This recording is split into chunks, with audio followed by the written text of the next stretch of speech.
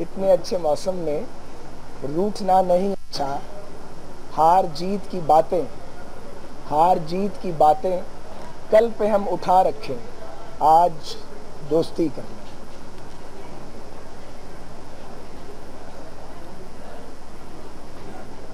हुकूमत की कोशिश है कि गुफ्त शुनीद के साथ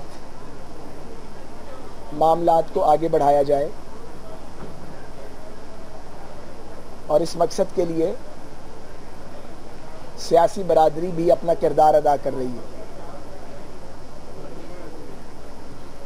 इमरान खान साहब ने आज तक जितने भी मुतालबात पेश किए, उनके हल का कोई कानूनी या आइनी रास्ता नहीं बताया।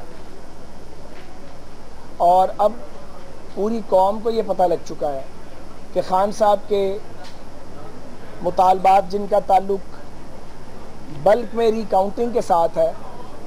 आइन और कानून के किसी प्रिव्यू में नहीं आते। क्योंकि रिकाउंटिंग या वेरिफिकेशन इलेक्शन ट्रिब्यूनल्स का काम है, जो अपना काम कर रहे हैं। और मौजूदा इलेक्शन ट्रिब्यूनल्स की रफ्तार गो 120 दिन का हदफ पूरा नहीं किया, माजी के तमाम ट्रिब्यूनल से बेहतर है। ये बात भी सबको पता है।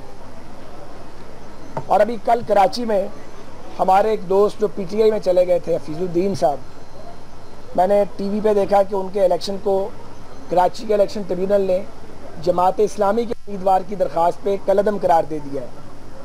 तो क्या ये समझ लिया जाए कि कराची में जो चंद नशस्तें पीटीआई को मिली हैं, वो धांधली की वजह से मिली हैं? इसका क्या ये मतलब है?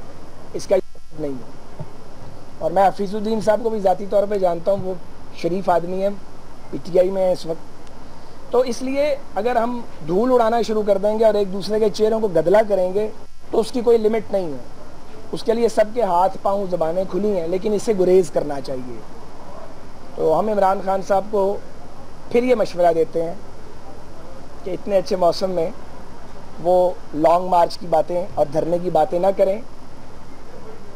अच्छा मौसम इस हवाले से कि बरसात है ज़रा, लेकिन अगर देखा जाए तो संजीदा बात यह है कि लाखों आईडीपीज अपने घरों से बाहर हैं। मुल्क हालत जंग में है। खान साहब को हमें और तमाम सियासी जमातों को मिलकर आईडीपीज को सर्व करना है। उनको रीसेटल करना है। और दहशत गर्दी के खिलाफ जंग को जीतना है।